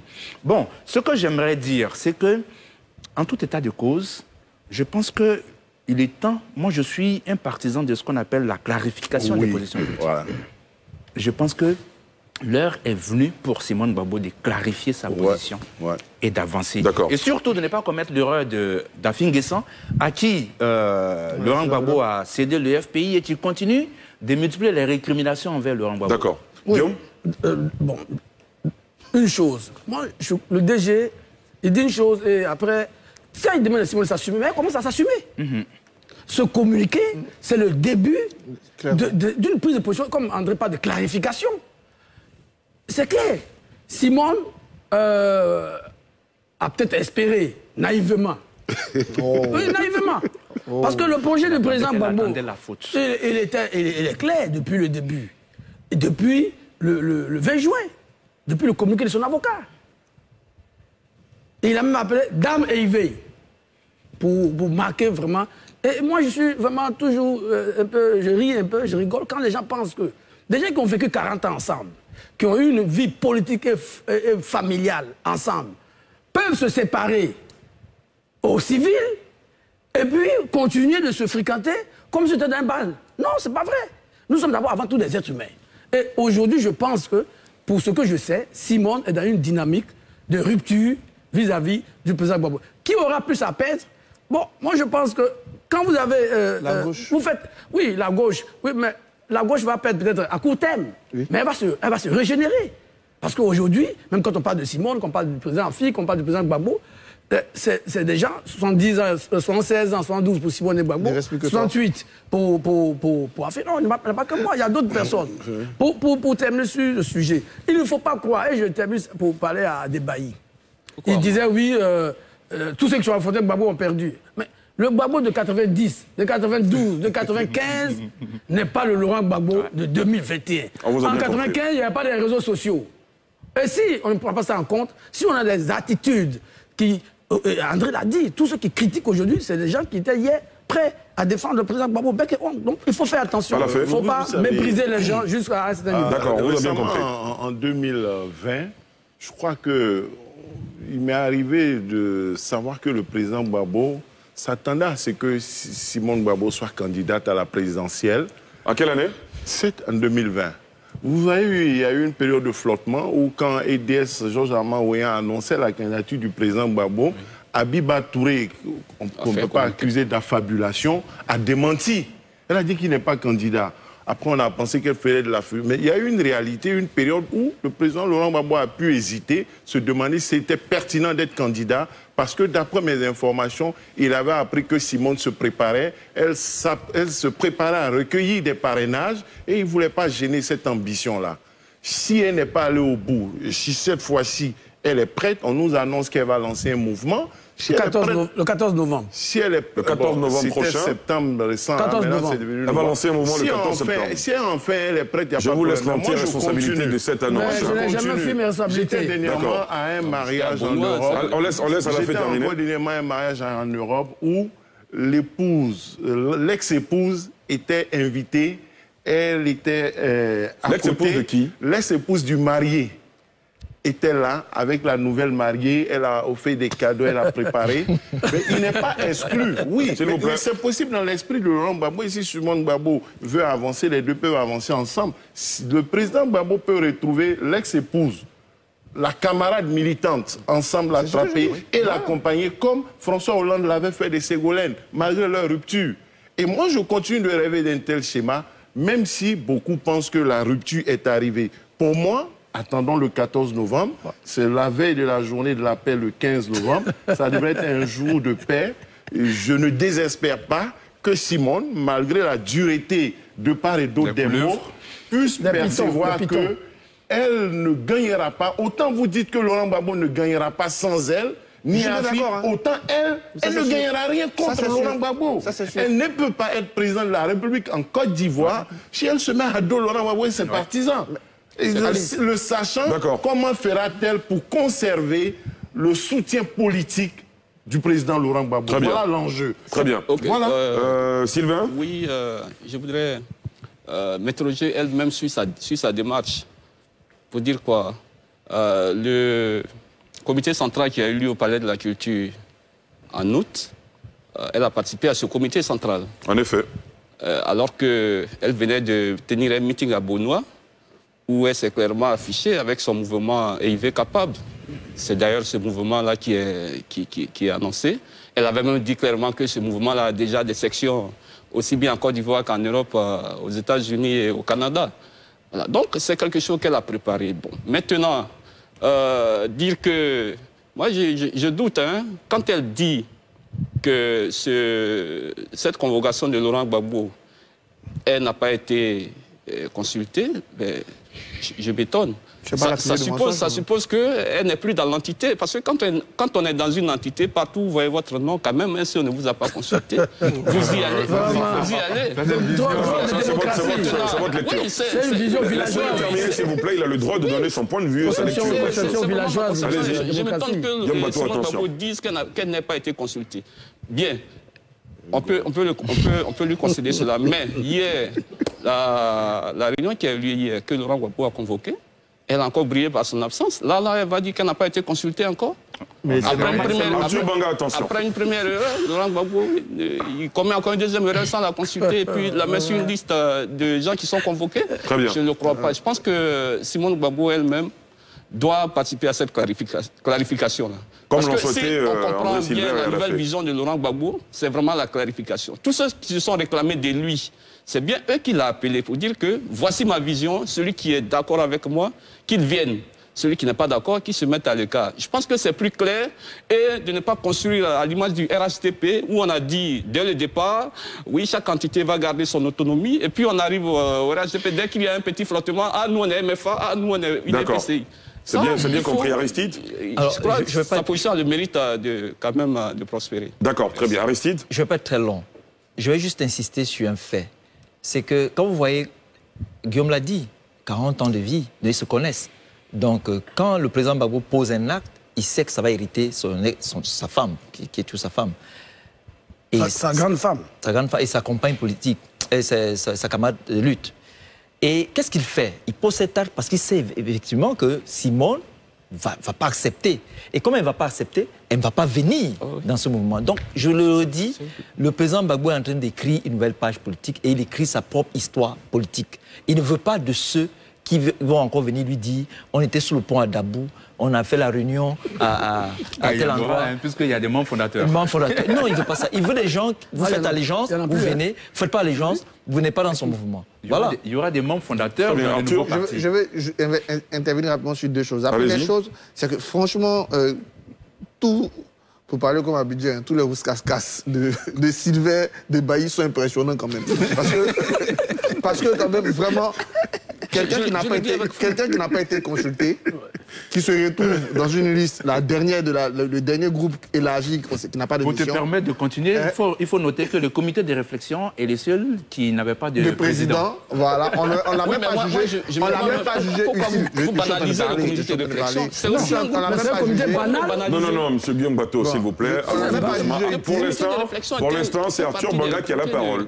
On n'a Allez-y, même pas Arthur. jugé Pourquoi banaliser On n'a même pas jugé utile Parce de la dans le comité de présidente elle comité n'est pas de dedans réflexion élargi. Alors, Sylvain Guédé de Bailly, justement, l'impression que vous banalisez le comité euh, Mais dites-moi produit une seule euh, organisation qui a un le comité de réflexion. élargi. Comment Dites-moi une seule organisation qui a un comité de réflexion élargi. Est-ce qu'il y a.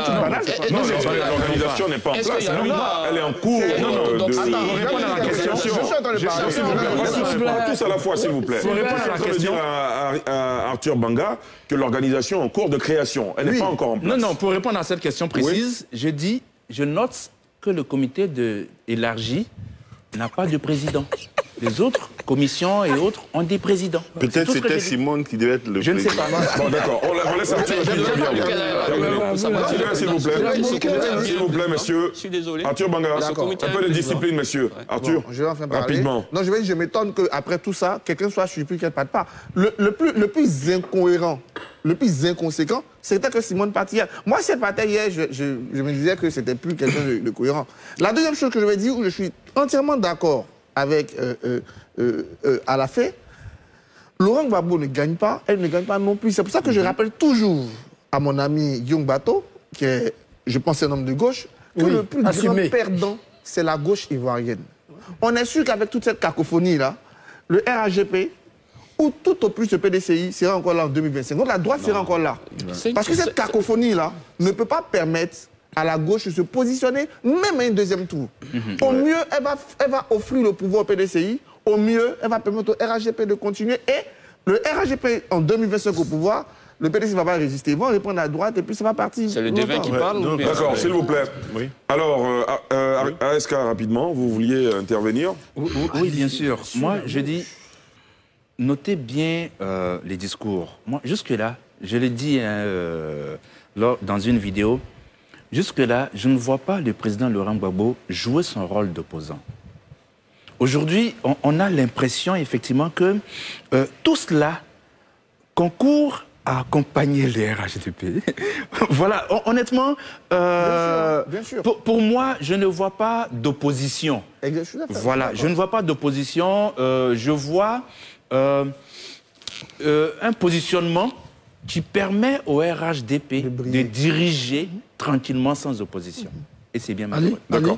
Euh, Ah oui. à la fin d'abord. À la fin d'abord, et ensuite vous. Euh, La réunion du comité central euh, du- présidée par le président Gbagbo a été évoquée. Voyez-vous, au cours de cette réunion, balade. Quand Laurent vous dites comité central, vous De faites allusion quoi à quelle Ouais, rencontre ouais, bon, c'est la rencontre du président Gbagbo instances de, des, partisans. C'est pas un On comité parlait de la central du culture. Oui. Ah, voilà, qui, au cours de laquelle il a annoncé qu'il euh, sortait du FPI. Cette réunion-là, euh, Simone le- était présente. Elle est venue. Bon, je ne sais pas pourquoi elle était là-bas. Je ne sais pas comment la convocation a été faite, si elle a été convoquée expressément ou au téléphone, si elle a eu un courrier, je ne sais pas. Par rapport au nouveau parti, je ne sais pas euh, dans quelles conditions elle allait à cette réunion qui n'était pas une réunion statutaire, qui était une réunion hors la loi d'ailleurs même par rapport à votre FPI. Non, non. Cela dit, On laisse au cours de terminer. cette réunion.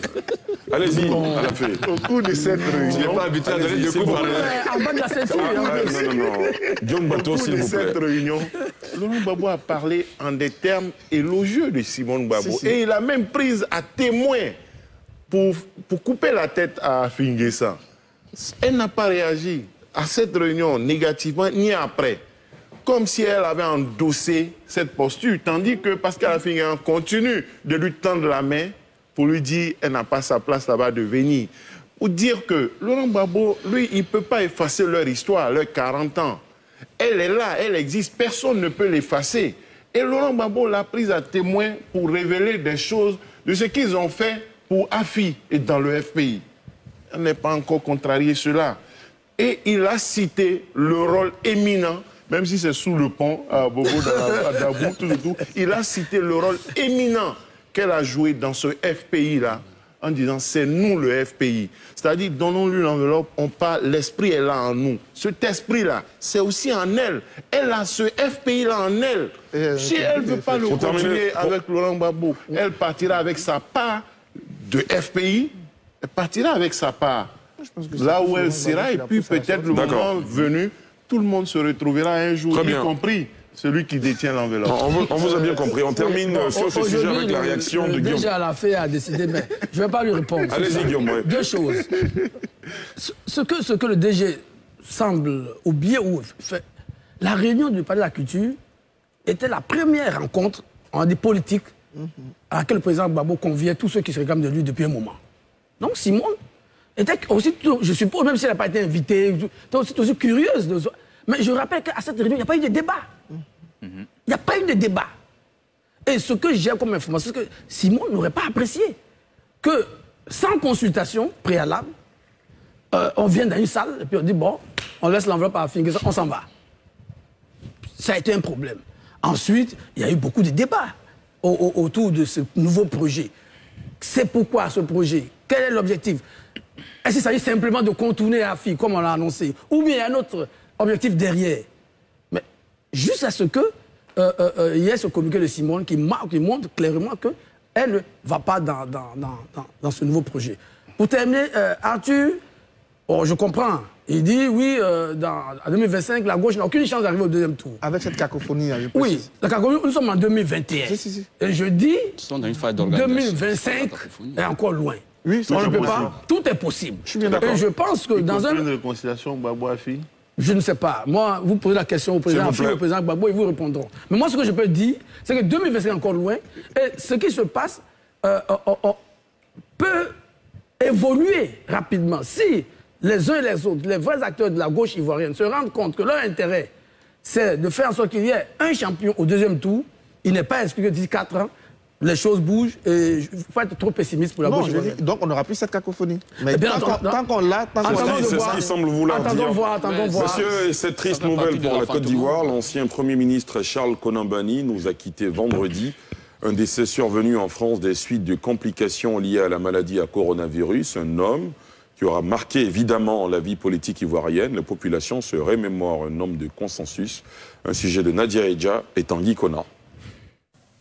La grande faucheuse a eu raison de Charles Konambani, ex-premier ministre et illustre fils du pays, qui a consacré une grande partie de sa vie au service des institutions nationales et internationales. Il est décédé à l'âge de 78 ans, après son hospitalisation depuis quelques jours à Paris pour cause de Covid-19. La nouvelle est tombée comme un coup près pour la population ivoirienne qui garde à l'esprit la grandeur de l'homme. Je viens d'apprendre qu'il est décédé et c'est une grande perte pour la Côte d'Ivoire et pour toute la population ivoirienne parce qu'il a été le président du comité de réconciliation et de vérité. Il a servi réellement la nation qui était, qu'on appelle, ancien gouverneur du, du BCAO. Il a été aussi euh, un porteur de, de pierre à la réconciliation nationale de Côte d'Ivoire. Autant Hier, moi, ce matin, je me suis connecté, j'ai vu qu'il était, il avait le Covid. Donc il a emmené d'urgence en Europe pour pouvoir le traiter. Je sais que c'est un grand homme de ce pays, il a fait beaucoup de ce pays. Euh, S'il est décédé, que son âme repose en paix et que Dieu euh, ait sa, sa- sa main sur lui. Directeur de la Banque centrale des États de l'Afrique de l'Ouest de 1994 à 2005, Charles Konambani est également un diplomate averti. À la suite de la crise politico-militaire de 2002, il est porté à la tête de la primature pour conduire le processus de sortie de crise.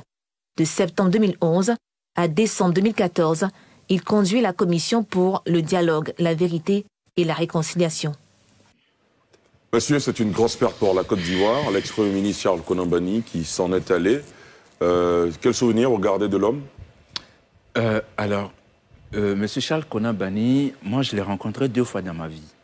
La première, c'était à, à, à Soubré, au domicile de, du regretté Marcel Zadi, Zadikessi, précisément dans son village à Yakoli Dabo. Et la deuxième fois, ça s'est très mal passé. Euh, Charles Konambani est la seule personnalité en Côte d'Ivoire qui m'a, comme on dit à Bobo, qui m'a grondé comme poisson pourri.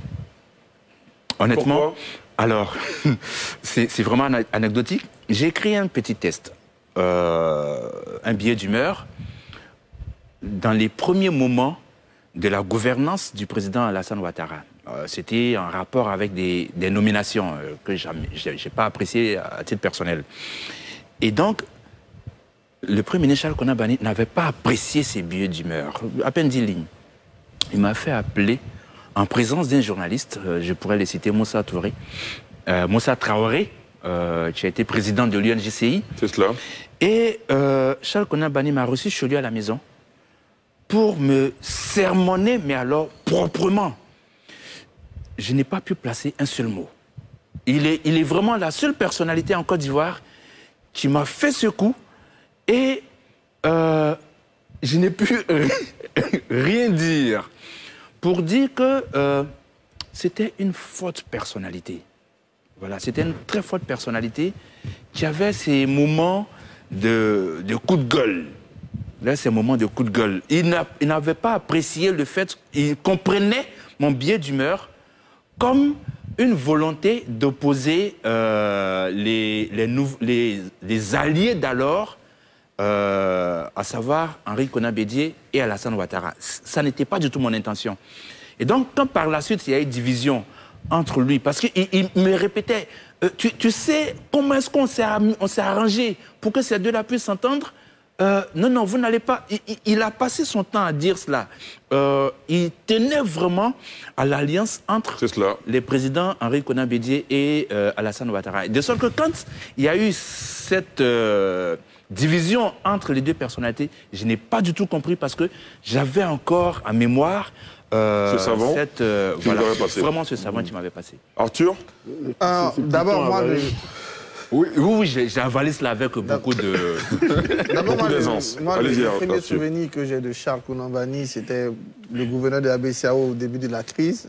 Il avait montré un volontarisme pour ne pas que la crise en Côte d'Ivoire en 2002 emporte la BCAO. Il avait, je le voyais, il venait très souvent à Abidjan et il affichait cette volonté de, de préserver euh, euh, la stabilité économique en dépit de la guerre.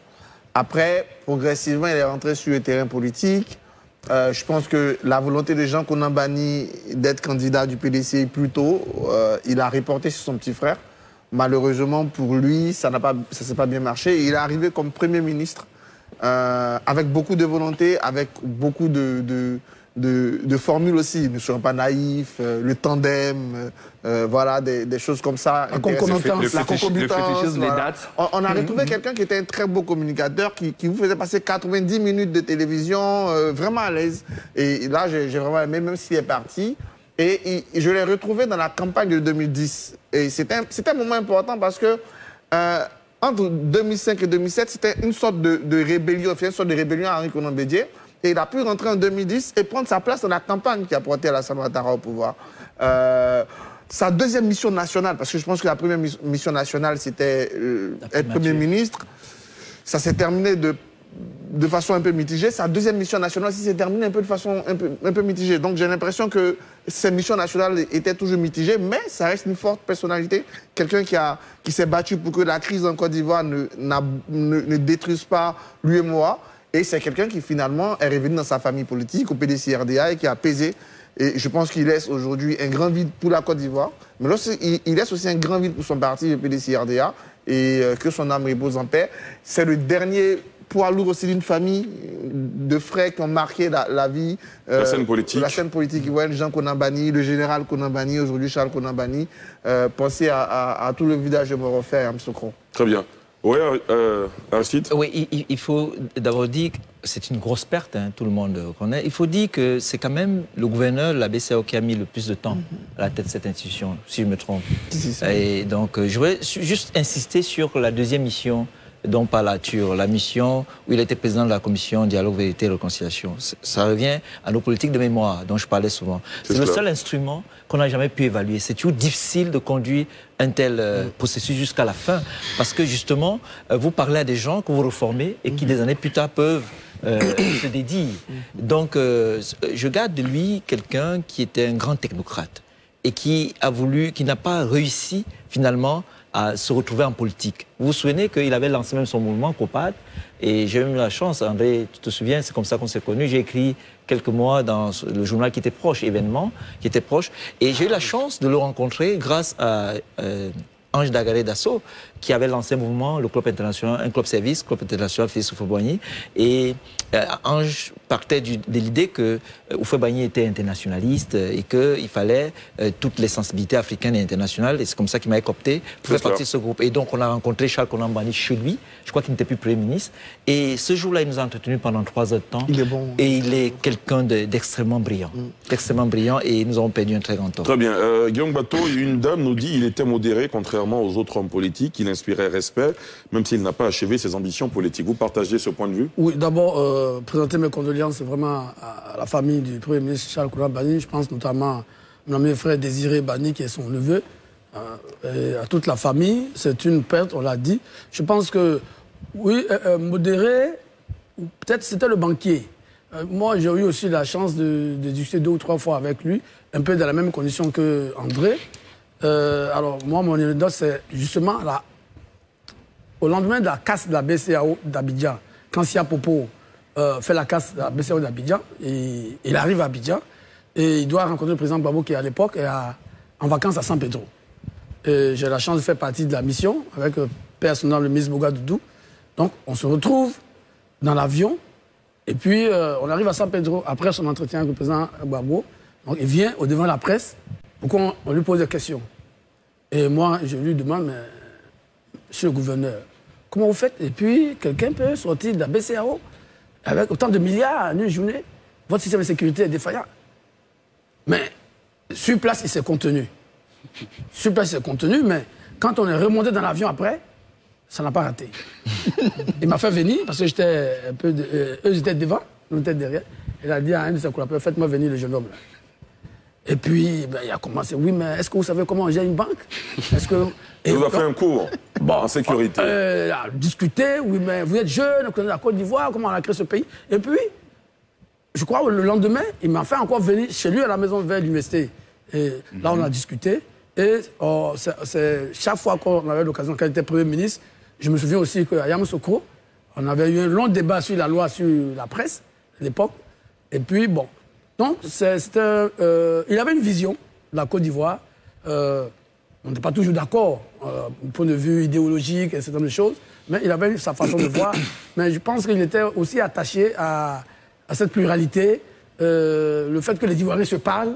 Je crois que c'était un de ses, ses, ses, leitmotivs, se parler, pouvoir discuter des questions. Et quand il est devenu Premier ministre, il a essayé autant que faire ce peu, je me souviens, avec beaucoup d'autres amis de la presse, de faire une communication vraiment dynamique, ouverte à toute la presse. C'était quelqu'un qui n'était pas vraiment... Euh, bon, on comprend parce qu'il venait d'arriver de, Dakar et il a essayé d'être vraiment à équidistance. Mais bon, c'est dommage aujourd'hui, alors que certaines informations faisaient laisser entendre qu'il aurait pu encore revenir en politique, notamment pour les élections 2025. C'est dommage qu'il s'en aille en ce moment-là. Absolument. Alors, monsieur, il ne nous reste plus que 8 minutes euh, pour euh, terminer cette émission. Vous me permettrez de passer au sujet suivant. Euh, l'actualité, notamment dans la sous-région ouest africaine, suite au coup d'État du 5 septembre dernier qui a renversé le président Alpha Condé en Guinée. Une mission de la CEDAO a rencontré le président déchu, le colonel Mamadi Doumbouya, chef des Poutistes, nouvel homme fort de Conakry, qui continue de bénéficier du soutien d'une bonne partie de la population guinéenne ainsi que de l'opposition. Les précisions de Pierre Dipomelin. Les militaires au pouvoir en Guinée ont reçu à Conakry une mission de la CDAO, venue s'enquérir des nouvelles de l'ex-président Alpha Condé à Conakry. Cette visite de terrain visa aussi à échanger avec les nouveaux maîtres de Conakry à leur tête, le colonel Mamadi Doumbouya. Nous avons eu des rencontres avec euh, le comité national de redressement et avec à sa tête bien sûr le colonel Mamadi Doumbouya. Et nous avons eu des échanges euh, très positifs. Et nous avons eu également la possibilité de rencontrer euh, l'ancien président, le président Alpha Condé. Et donc nous avons également échangé avec lui. Et comme ce sont les chefs d'État qui nous ont mandatés de venir donc, euh, pour cette mission, nous allons rendre compte aux chefs d'État des résultats de nos échanges. La rencontre se tient au moment où les putschistes, en quelques jours, ont tenté de gagner la confiance de la population et de la classe politique guinéenne. Doumbouya, c'est espoir pour la Guinée. On le souhaite qu'il donne, qu'il fait tout, il donne la main à tous les Guinéens qu'on travaille ensemble. Il est l'homme de la situation, car il a libéré le pays. Et je sais bien, après les discours tenus, nous devons faire en sorte que ces discours ne soient pas que des mots, mais que ça, soit, ça, se, ça se matérialise en actes. Et que le peuple lui soutienne à continuer les œuvres qui peuvent aider le pays à se développer. Les putschistes eux-mêmes ont dit qu'ils ont des comptes à rendre pour le peuple. Ils ont estimé que le président destitué n'a pas pu relever le défi, l'attente du peuple. Donc pour eux, ils sont venus pour lutter contre la corruption. Nous les attendons pour l'employabilité des jeunes, surtout les jeunes, et pour lutter contre la malgouvernance, la justice surtout, rendre justice aux victimes politiques de 1958 jusque-là. Le chef de file de l'opposition, Selou Dalen Diallo, appelle la communauté des États ouest-africains à ne pas imposer de sanctions économiques à son pays après le putsch qui, selon lui, permet de sortir d'une situation de non-droit. Non, je ne serais pas favorable aux sanctions économiques. Comme je vous l'ai dit, d'abord, je trouve que c'était l'implication de l'armée pour mettre fin à un mandat illégal et illégitime était pour moi une décision qui est bienvenue. Donc euh, pour moi, la gente ne mérite pas, pas d'être sanctionnée pour ça. Parce que pour moi, elle a mis fin à une situation de non-droit. Euh, si vraiment elle s'engage résolument à aller vers l'ordre constitutionnel en organisant des élections libres et transparentes dans, dans un délai raisonnable, je ne pense pas qu'il soit nécessaire de la sanctionner. Les dirigeants des États ouest-africains ont suspendu mercredi la Guinée de leur organisation régionale, mais se sont gardés de prendre des sanctions économiques en attendant l'envoi d'une mission diplomatique. Lors du sommet virtuel du mercredi dernier, les chefs d'État de la communauté économique des États de l'Afrique de l'Ouest ont qualifié ce putsch de violation claire de la charte sur la bonne gouvernance. Monsieur, au pas de course, les leçons et euh, les enjeux de ce coup d'État en Guinée-Guillaume Comme d'habitude, moi je condamne fermement ce coup d'État. Je ne sais pas qu'est-ce qu'un caporal transformé en chef de force spéciale peut apporter aujourd'hui à la Guinée. C'est malheureux, c'est dommage et je pense que mes parents guinéens ont tort d'être contents aujourd'hui parce que ce monsieur que je vois, ne, ça ne présage de rien de bon. Et c'est dommage pour notre continent que chaque fois, ce soit des militaires qui n'est pas la peine français qui se retrouvent à la tête de nos pays. Moi, je suis, je suis, vraiment malheureux. J'espère seulement que euh, nos parents guinéens vont se ressaisir très rapidement, réunir les conditions pour faire en sorte que ces pouchistes ne restent pas longtemps à la tête de la Guinée, parce que la Guinée n'avait vraiment pas besoin de ce coup d'État. Euh, j'entends des gens essayer de justifier. Moi, je dis, il faut rester ferme face à tous les pouchistes. Aucun coup d'État ne doit être défendu. Si on estime que la démocratie est mise à mal par un certain nombre de pratiques, c'est par les moyens démocratiques qu'il faut les combattre. Et non laisser les gens qui ne savent même pas de quoi ils parlent se retrouver du jour au lendemain à la tête de nos pays. C'est vraiment dommage. André? Oui, euh, moi je ne me fais aucune illusion hein, par rapport euh, au lieutenant-colonel euh, Doumbouya. Euh, sauf erreur de ma part, je ne sais pas si la situation a évolué, mais cela fait une semaine quand même, mhm. et euh, il n'y a toujours pas de gouvernement. Euh, Cela euh, présage quand même de certaines difficultés que la transition va rencontrer. Mais pour moi, mon postulat, il est très clair. Un coup d'État reste un coup d'État. Un coup d'État, il est condamnable, quelle que soit sa forme.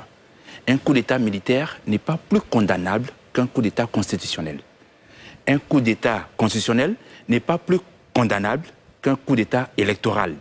Et un coup d'État électoral n'est pas plus condamnable qu'un coup d'État paramilitaire. Je vais parler d'une rébellion. Et donc, quand euh, vous avez écouté, par exemple, Georges Weah, qui, a, posé effectivement le problème des, des, des constitutions euh, qui justifient l'entrée de certains militaires sur la scène politique, eh bien, euh, on doit vraiment voir cela. Parce que, rappelez-vous, au Mali, il y a eu un coup d'État électoral de IBK qui voulait forcément euh, faire admettre la victoire électorale de 31 députés issus de son camp.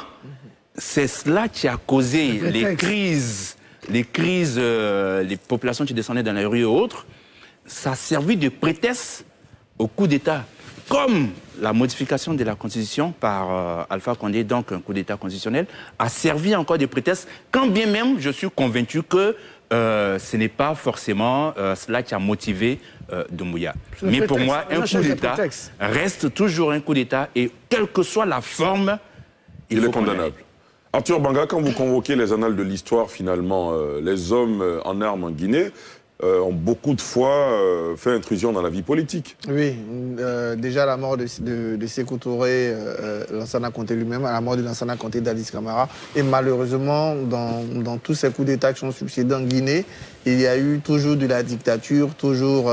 ça s'est toujours mal terminé. on se souvient de, de l'épisode d'Addis.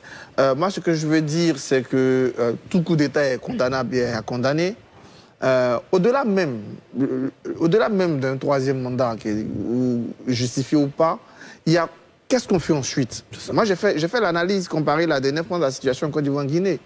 En Côte d'Ivoire, euh, le président Ouattara a su apaiser. Mais Alpha Condé n'a jamais su apaiser la Guinée. Voilà, il a continué à garder son principal opposant en résidence surveillée, plus de 800 personnes en prison. Hein, il n'y a pas eu, encore une dynamique positive après les élections. déjà, même dès le 11 novembre, euh, euh, Ouattara rencontre Bédier, ensuite Bédier, euh, ensuite Laurent Gbagbo, mesures de grâce, etc. Ça apaise. Et ça, permet d'aller. Mais en Guinée, on n'a pas apaisé ce moment. Ce que je veux dire, ça c'est déjà fait. Aujourd'hui, les yeux doivent être fixés sur la CEDEAO. La CEDEAO doit faire en sorte que le temps de transition, d'abord durant ce temps de transition, l'impact, l'influence des militaires soit le la plus faible possible. Et ensuite, préparer cette transition pour une élection transparente. Parce que la Guinée n'a jamais eu d'élection satisfaisante, sauf si c'est un problème. Il n'y a pas un moment en Guinée, on finit l'élection et puis on va... Même en Afrique, au bout d'un moment, ça devient fatigant. Voilà. Donc il faut que la CEDEAO prenne ses responsabilités, qu'elle veille au grain sur la situation en Guinée, qu'elle veille à toutes les étapes des élections. Pas le jour des élections déjà. La liste, comment tout ce mécanisme est mis en place pour qu'on puisse retrouver une Guinée qui est très importante pour notre sous-région. C'est un pays voisin, euh, euh, voisin de, notre ami Bateau. j'ai mes parents là-bas, j'ai mes parents. Alors, il nous reste deux minutes, hein. on, va aller rapidement. Euh, Sylvain Oui, ben, moi, ce qui se passe en Guinée, je, suis, je suis indifférent. Hein. Je suis indifférent Pourquoi parce que c'est l'éternel recommencement. C'est-à-dire que les hommes politiques dans ce pays-là n'ont véritablement jamais tiré de leçons de, de leur propre histoire. la Guinée n'est pas la Côte d'Ivoire. C'est un pays qui a une tradition de, coup d'État. Bon, il est, elle est à son troisième coup d'État.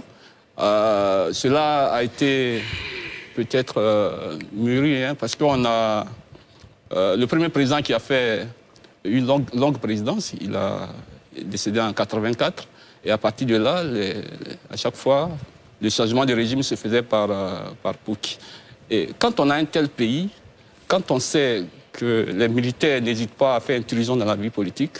Quand on a les affaires publiques à gérer, on fait quand même attention. Absolument. Voilà. En, Afrique, c'est le cas du Niger. Au Niger aujourd'hui, je, ne sais pas quel est ce président qui va s'hasarder à faire, euh, à faire du tripatouillage. Mais il sera.